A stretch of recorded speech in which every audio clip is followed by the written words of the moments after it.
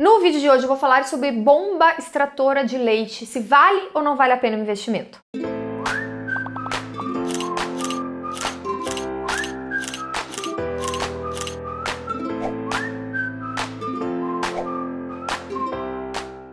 Olá, mamães e papais! Mais um vídeo aqui da nossa série Sim ou Não, Ter ou Não Ter. E hoje a gente vai falar sobre a bomba extratora de leite. Eh, eu abri espaço né, no, no canal para me informarem qual o item que, que gostariam de saber um pouco mais, se vale ou não vale o investimento. E aí eu recebi algumas mensagens né, pedindo para eu falar sobre a bomba, a bombinha de leite, bomba extratora. E algumas das pessoas que me pediram, e agradeço aqui né, por terem deixado a dica, foi a Raquel Menezes, a Rose Moreira e a Kellen Félix Monteiro. Então, super obrigada, meninas, por dar essa dica aí, por compartilhar né, o interesse de vocês. E quem quiser saber também, né? De outros produtos, se vale ou não vale a pena ter, deixa aqui nos comentários que eu posso, com muito prazer, vir fazer o, o, review desse produto aqui. Mas antes de entrarmos no conteúdo do vídeo de hoje, um pedido bem especial para vocês.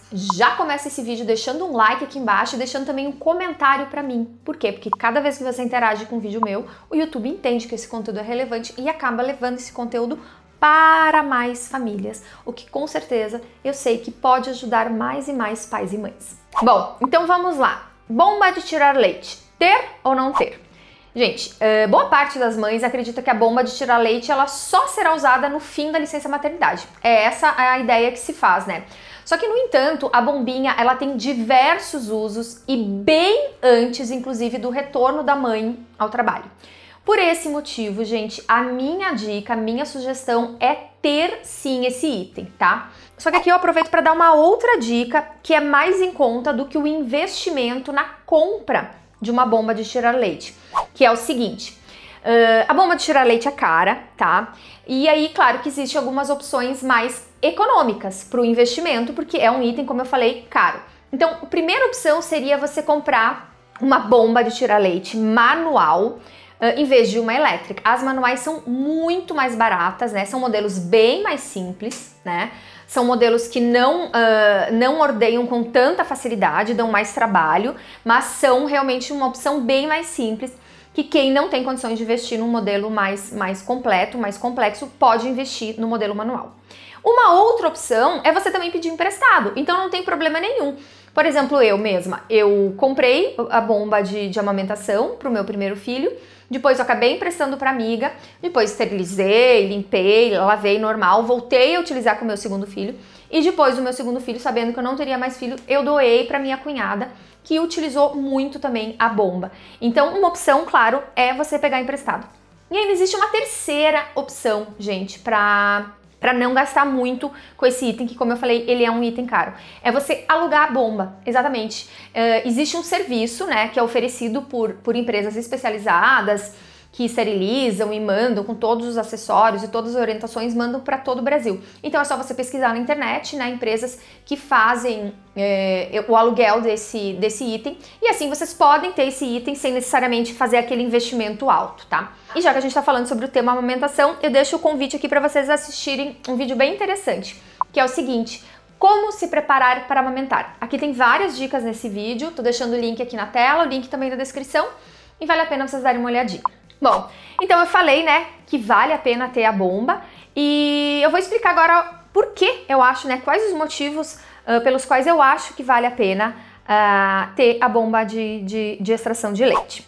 Bom, primeiro é para tirar o excesso de leite quando a produção da mãe é grande, né? Então tem mães que produzem uh, muito leite e, e fica difícil, né? A mãe precisa extrair um pouco para garantir que o bebê tenha uma pega correta da mama. Então o que, que acontece? Muitas vezes quando a produção do leite é muito grande, o peito fica muito rígido, muito inchado, né? E o bebê não consegue pegar, ele não consegue pegar toda a areola, né? Ele acaba pegando só o bico do peito e machucando. Então o que, que você faz? Você usa a bomba para tirar esse excesso, deixar a mama mais macia, mais molinha, e aí o bebê conseguir abocanhar corretamente essa mama e extrair o leite sem machucar e também extrair de forma que ele obtenha bastante leite, porque quando o bebê mama errado, com a pega errada, ele não consegue tirar o leite, tá? Vale a pena que assistir um vídeo que eu fiz sobre hiperlactação, né, que é o excesso da produção de leite, então tô deixando o link para vocês assistirem. Gente, mais uma, mais uma super utilidade uh, da bombinha de tirar leite é ajudar no estímulo da produção do leite. Gente, a bomba de tirar leite ela é muito útil para aumentar a produção do leite. Então, o que acontece? Aquela mãe que está com pouco leite, aí o bebê mama e, e, não se alimenta o suficiente, acaba chorando e não está ganhando peso e bate aquele desespero. Será que eu preciso parar de amamentar porque ou vou ter que dar fórmula? Não precisa. Então, você pode utilizar bomba para extrair o leite. Como é que se faz isso? Você amamenta, oferece o peito, amamenta e assim que você terminou de amamentar o bebê, você tira, né, um restinho de leite com a bomba, porque aí o seu peito vai acostumando a produzir uma quantidade maior e não só aquela quantidade que o bebê mamou, porque o peito, o corpo da gente, ele é inteligente, então ele entende que ele vai produzir o quanto o bebê mamou. Mas muitas vezes o bebê mama pouquinho, não consegue extrair tudo, fica sobrando leite lá e cada vez o corpo vai entendendo que não precisa, né, de tanto leite e vai produzindo menos. Se você tirar, né, estimular tirando esse restinho com a bomba, o corpo entende que precisa de todo aquele leite e vai cada vez produzindo mais. Inclusive, tem um vídeo aqui no canal no qual eu dou 10 dicas para aumentar a produção do leite. Vale a pena clicar para assistir quais são as outras dicas. Uma outra utilidade da, da bomba é para quando a mãe precisa se ausentar, né? E vai deixar a criança aos cuidados uh, de outra pessoa. Então, existem situações em que a mãe precisa sair de casa por um ou outro motivo, não tem como levar a criança junto, né? E vai deixar ela aos cuidados de alguém, mas não quer oferecer a fórmula. A bomba vai ser super útil. A mãe tira e esse leite pode ser oferecido para a criança, não necessariamente na mamadeira, né? Mas pode ser oferecido num copinho, pode ser oferecido com colherinha e aí a mãe escolhe a melhor forma de oferecer. E inclusive, tô deixando aqui uh, um link de um vídeo bem útil para vocês assistirem, que é como extrair e armazenar de forma segura o leite materno. A bomba também é muito útil no caso de bebês prematuros. Então, gente, para os bebês prematuros que não conseguem mamar no peito desde os primeiros dias, uh, garante-se né, que a criança tome leite materno e que o leite não seque por falta do estímulo de sucção. Então, quando é colocado o, a bombinha no, no corpo da mãe, ela, ela tem duas utilidades, né?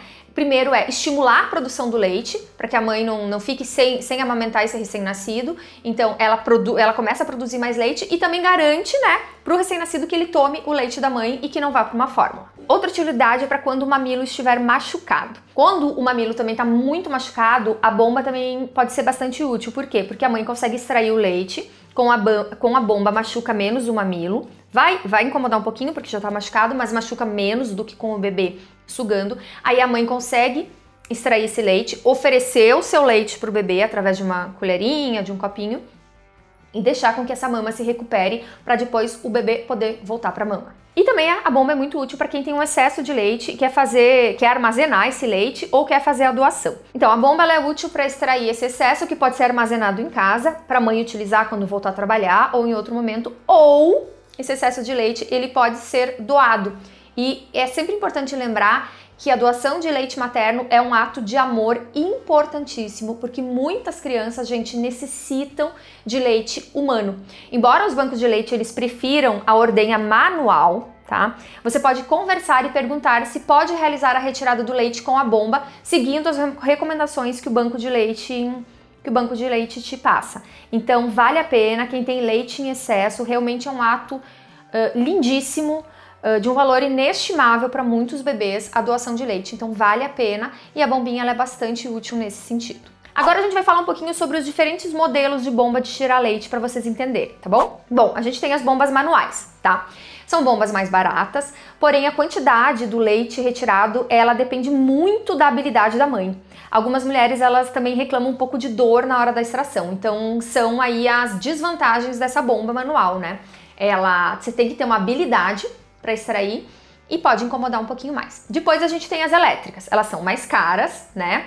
Porém, em geral, elas tornam a extração do leite muito mais rápida, bem mais eficiente e também ela bem mais indolor. A desvantagem é que você vai precisar de uma tomada ou então vai ter que fazer uma troca frequente de, de, baterias, né, de pilhas. Ela pode ser de duas formas. Ela pode ser a simples, que tira o leite de uma mama e depois tira da outra, ou ela pode ser a dupla, que tira o leite de ambas as mamas ao mesmo tempo e por isso ela é ainda mais rápida, né, de utilizar. Gente, vamos falar um pouquinho sobre a ordenha manual agora, tá? Além disso, claro, as mães que conseguem fazer a ordenha do leite manualmente, sem o uso de bomba ou qualquer acessório. Isso é possível sim, só exige um pouquinho de técnica, tá? Nesse caso, é importante você buscar a orientação de um profissional experiente no assunto. Com quem você consegue essa orientação? Você consegue ou no banco né, de leite da sua cidade, ou então contratando uma consultora de amamentação.